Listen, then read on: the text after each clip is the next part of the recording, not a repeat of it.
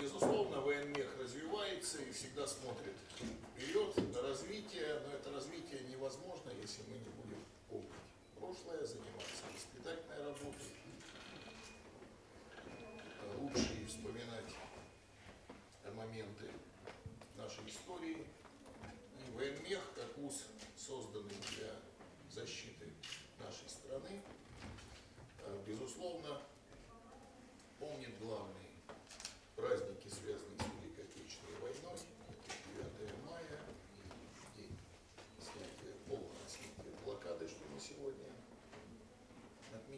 И даже 19 ноября, наш традиционный день артиллерии, который мы празднуем, также родился в год Великой Отечественной войны.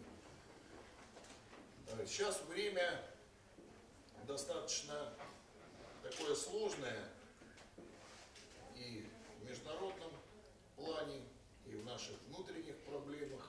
У нас тут новый министр образования, и мы продолжаем взаимодействие и развитие. Э, Но, тем не менее, мы всегда, э, какое бы время ни было, большое внимание уделяем вопросам патриотического воспитания. И уже, наверное, четвертый или ну, третий или четвертый раз мы становимся победителями э, в конкурсе студенческих объединений именно э, по проблеме военно-патриотического воспитания.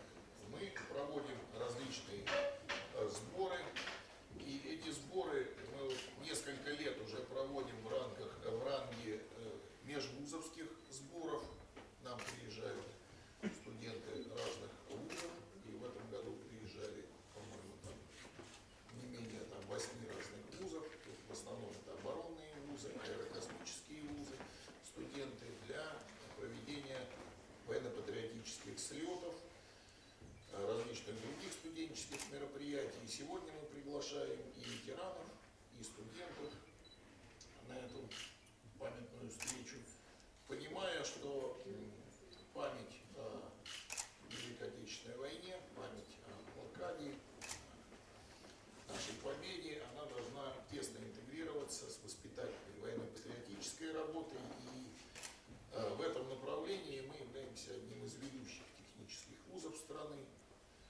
Э, В следующем году мы снова этот конкурс, будем сейчас продолжать уже организовывать межвузовские военно-патриотические слеты, где мы много внимания уделяем нашей истории и Великой Отечественной войне. День полного освобождения от блокады – это день знаковый для военмеха, и мы не случайно собрались в этой аудитории. Эта аудитория для нас памятна тем, что здесь жили во время блокады наши сотрудники, э, переживали тяжелые годы, и мы тут обновили экспозицию силами э, наших выпускников э, военмеха с тем, чтобы сохранять и приумножать эту память. Здесь проводим занятия со студентами, которые также являются патриотическими.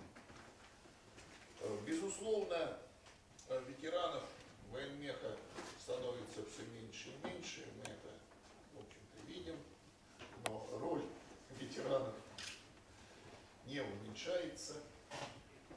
Все мы прекрасно понимаем, что э, преподаватели мы, профессора, ветераны, всегда видим свои успехи в молодом поколении. И Мы всегда гордимся заслугами наших выдающихся студентов, которые потом становятся руководителями и понимаем, что в их успехе э, в том числе и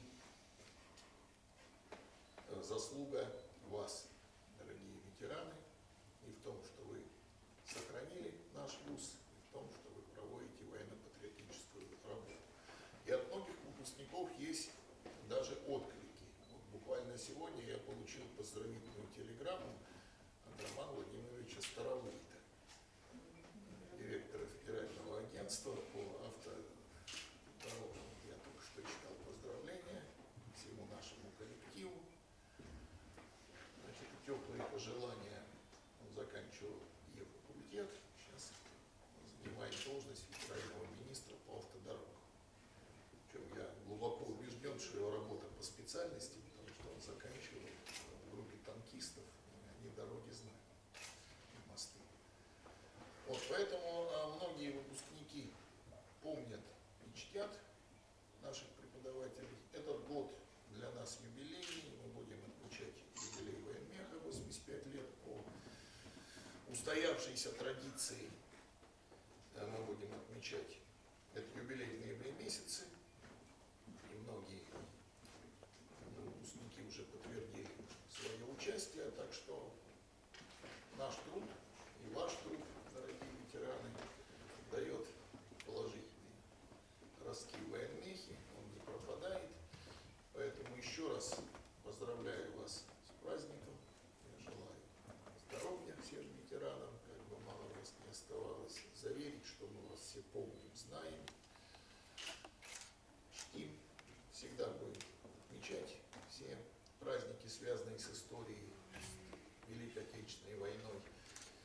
И вы должны осознать, что ваше дело, а мы продолжаем, ваше дело продолжает прогресс-преподавательский состав, продолжают наши студенты, которые занимают до сих пор, продолжают занимать, чем дальше, тем больше.